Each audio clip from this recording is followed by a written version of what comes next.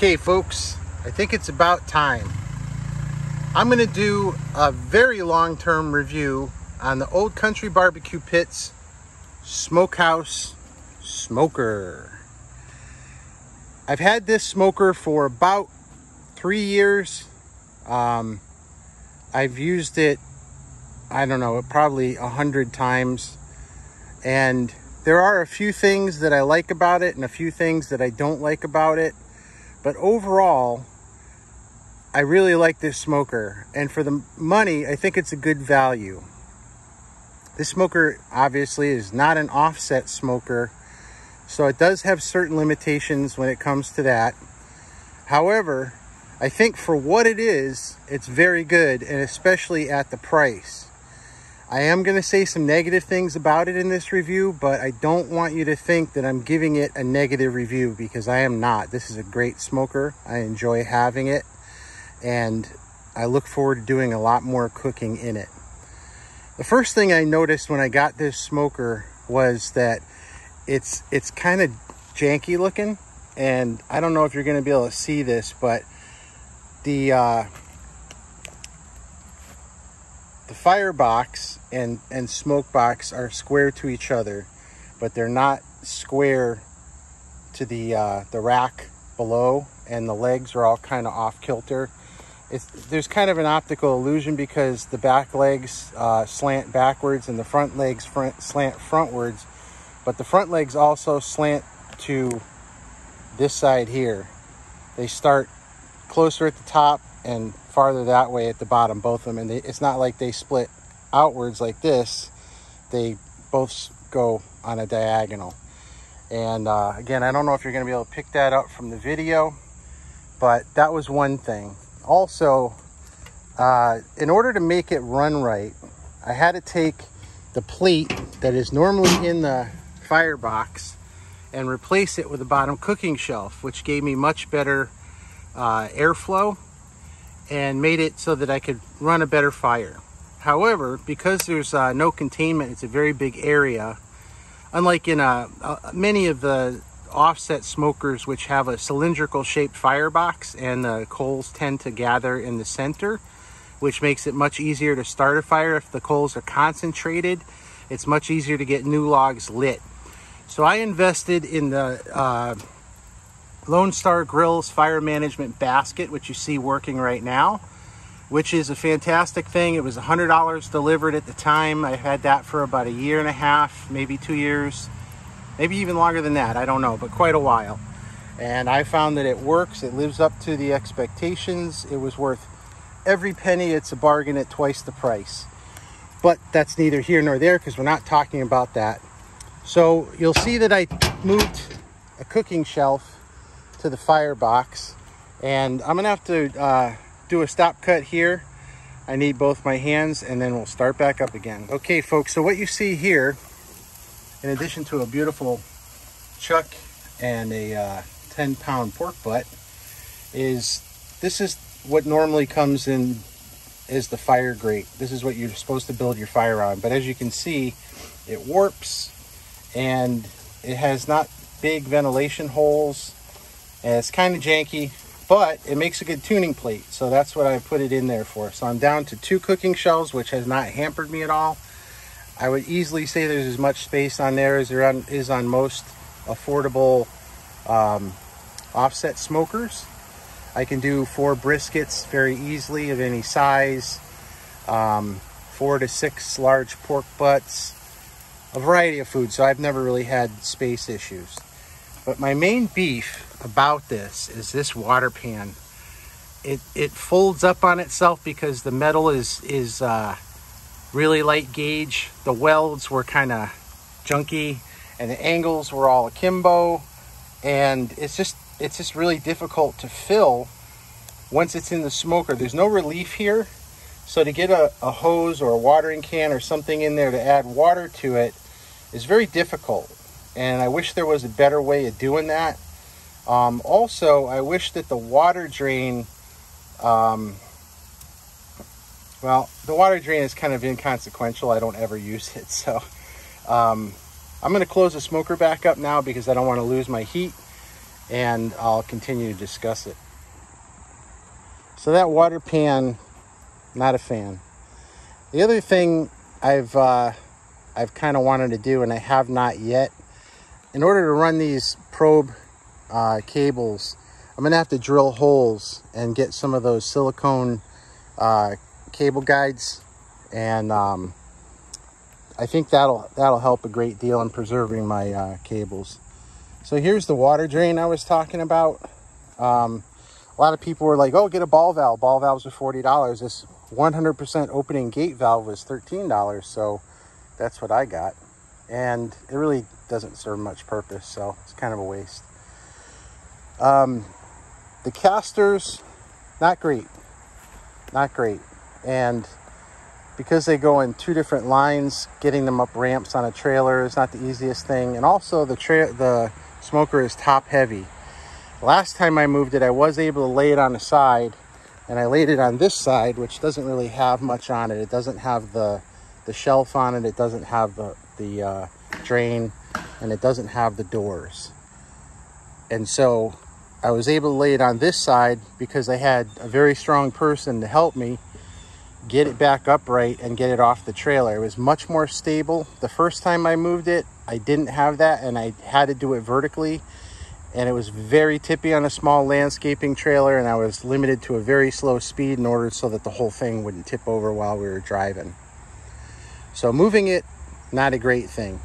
But again, overall, what I found is it's not hard to get nice clean smoke and it's not hard to maintain, maintain temperatures, particularly after putting that cooking grate and especially after putting that Lone Star Grills fire management basket in it in the firebox. Um, I did at one point drill underneath that can is a little like a, a tube and that tube had a fan for a, a barbecue controller which I'm not going to mention by name because it was a piece of junk. It was a very expensive piece of junk. I didn't like it and I've replaced it since then with this uh, ThermoWorks Smoke X4 which I love. It's fantastic and um, I do that so that air isn't rushing in that tube. And eventually I'm going to take that tube out and just weld a piece over it. Uh, my new host has welding equipment. We're just going to weld a plate, plate over the hole. And then I have the vents here. Now the vents here give plenty of uh, range of operation. It's easy to maintain uh, a nice clean fire um, and also to control your temperatures. As you can see right now I'm running at 242 and I have nice clean smoke. So all in all, I would recommend this. I um, At the time I bought it, they were, I forget, $6.99 or $7.99 on Academy. The shipping was, I think I paid for upgraded shipping and at the time was like $130. I don't believe that's the case anymore. And I also know that they're, it's very uncommon to see them in stock.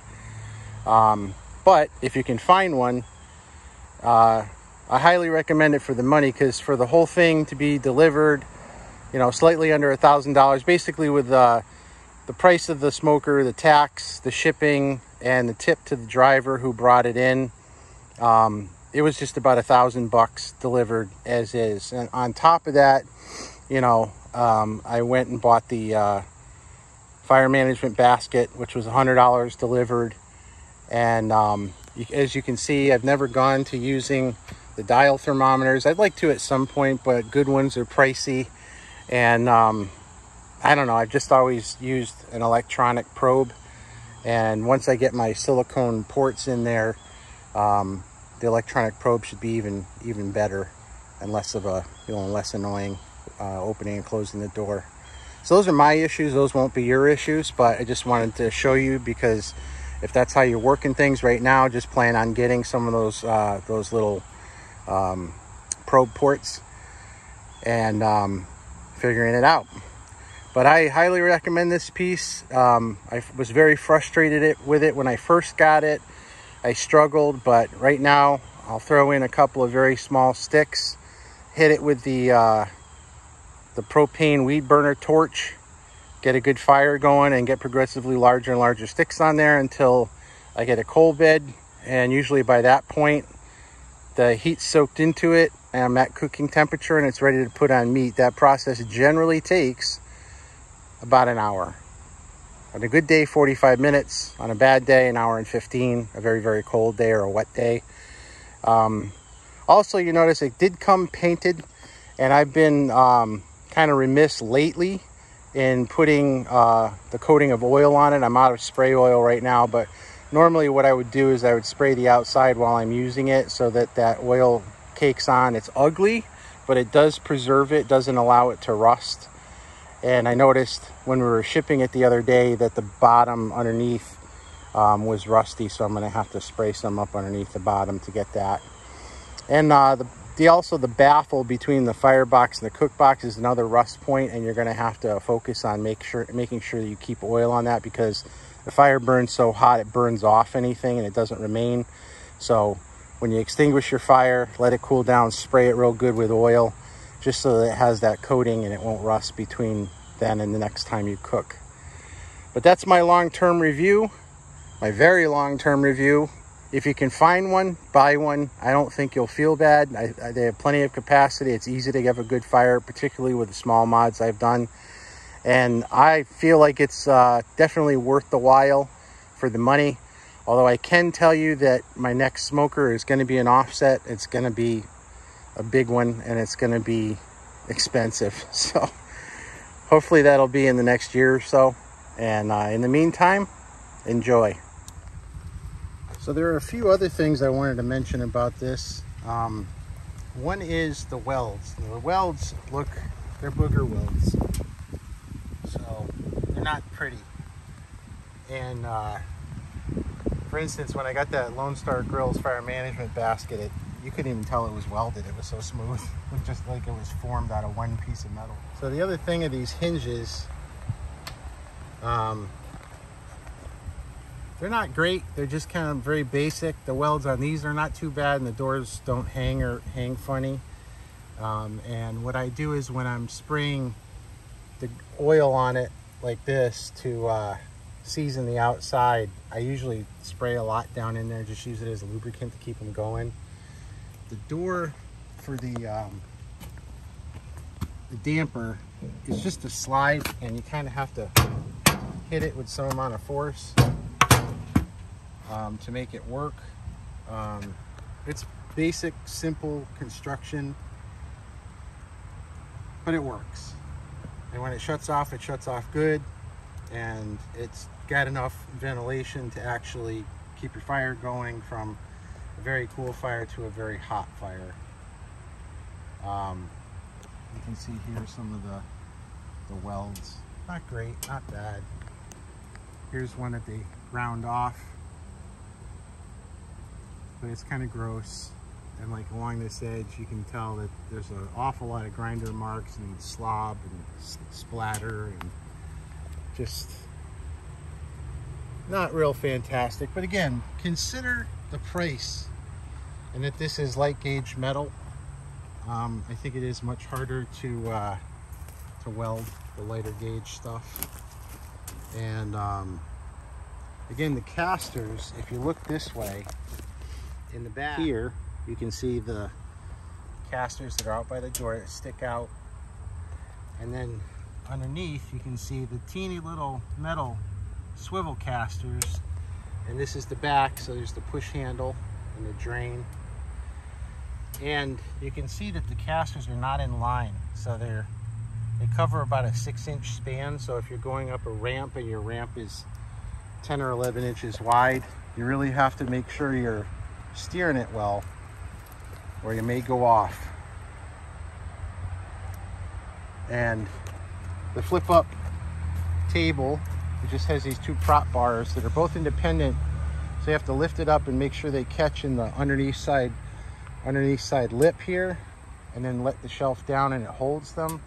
And it's pretty level and it, it seems to do well, but it's very close here.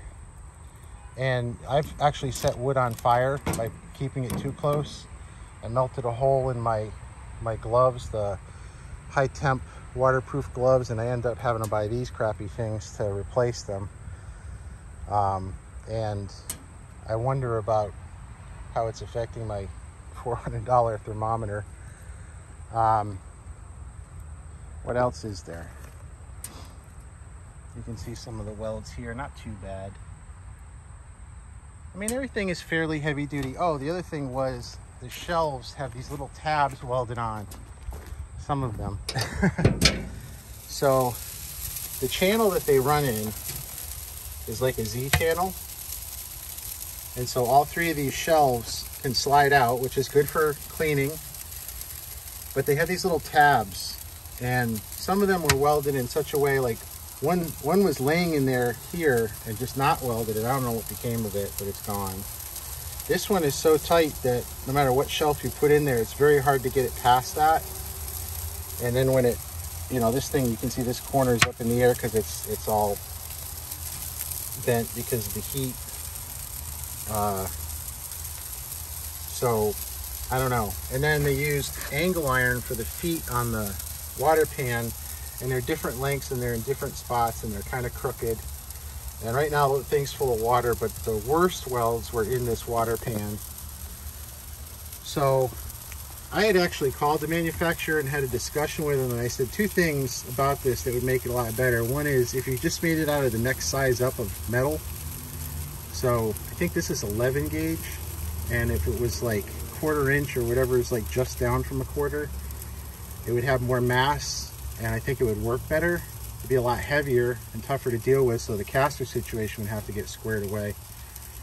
But also just put C-channel in where the shelves are, and that way you could pull them out part way and they wouldn't flop over. See, the way that they're set right now, there's nothing holding them in the back, so if you were to pull something out with weight on it, the whole shelf would just tip and your meat would fall on the ground.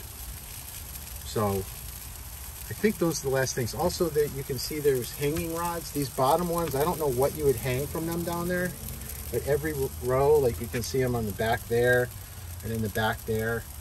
I mean, if you were gonna hang ribs, probably you could take all the shelves out and maybe hang them from just the top or short sausages. You might be able to use the, the first two and maybe the third one if this, uh, this, pan, this grate wasn't it. If all the grates were gone, you might be able to use it.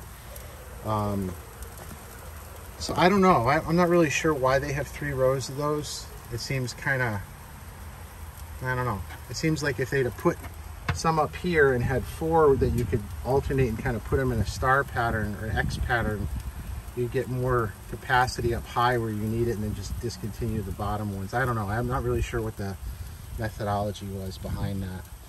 But last but not least, the chimneys. There's two of them, not really sure why. Neither one of them is particularly tall, although the draw doesn't seem to be an issue. And I don't think you really want this to be much taller than it is. My last host used to keep this in his garage, and I know that it cleared by like a, a, a credit card thickness underneath his uh, garage door opener so, and the lip of the garage door when it was all the way up. So getting it in the garage was actually, no, not the lip of the door. I think it was the garage door opener, but it was very, very low uh, garage door. And that height was um, already kind of high and any taller and it would have had to live outdoors. And um, that brings one other thing, which is the cover or lack thereof. There's no cover designed for this. I did, however, find a cover that was for I don't know, some generic cover for some sort of outdoor piece of equipment that I bought at a, a Home Depot or a Lowe's for $25, which actually seemed to work fairly well. It had a draw cord and it would come down to, you know, about here and I would pull the draw cord tight and it had air in between so it never rusted, it never got moldy. And I used to tighten the cord and then I would wrap the cord around the drain after it cooled down. Of course, you couldn't put a cover on hot, so you wait till it cools down, then you cover it. But I haven't, I kind of misplaced it when it was being garage stored. And hopefully I'll be able to locate it again or else a replacement for it. Um, it was fairly cheap and I used it for a couple of years, so it doesn't owe me anything. But I'm gonna wanna get one since it's here. But at the very least, you wanna close these caps. So it's nice that they added these caps and they move pretty easily you know, and they do a good job of covering up so that if it rains, unless it's torrential or high winds, you don't really get water inside the cook chamber. Um, but since the top is is wavy, all the all the metal on here is wavy from all the heat cycles. And um, since that's the case, water does pool on the top, so you got to be mindful of not letting it pool there so you don't get rust. So those are my final thoughts. I hope if you get the opportunity, you're in the market for a cabinet smoker, um, something like this, especially with the, the shelf folded down, there is no uh, offset that is going to offer you this small of a footprint, even with the shelf up. Nothing, nothing worthwhile will give you this footprint if your patio has very little room. Um, obviously, space is not an issue for me here, but I just kind of wanted to try this type of smoker after having a cheap offset. And um, this was a definite step in the right direction, and I'm happy that I bought it. Um, so this is something to consider. Um, but if like if you have an enclosed motorcycle trailer, you might want to check to see. I think it's 72 inches high to the highest point, from the ground to the highest point. So if your opening is not at least 72 inches, you won't be able to put this in your enclosed trailer. So keep all those things in mind. But if you do find that something like this would suit your needs and you want to give it a try, I highly recommend it take that with, you know, for whatever, but I've had it for several years now. It hasn't rusted out. Um, and it's, it's done a, a good job. It's been moved three times now from its original location. It was moved to the original location and three times after that. And who knows, it may get moved again, or if, if I'm lucky and it's still in good shape, whenever I get my offset, I may be able to sell this and recoup a little bit of the money back from it. So anyway, I'll make a video out of that if I put this up for sale. Take care, everybody. Have a great Labor Day. Well, actually, this video is probably not going to get posted for another week. I'm doing two videos at once. I'm doing this review and I'm doing a cooking video. So the cooking video will come out on Labor Day. This will hopefully come out the following week. And that way I can post some regular content for you guys and get back in the swing of things. But be good to each other. Have a good time. Be safe, be well. God bless. Smokers chugging, baby.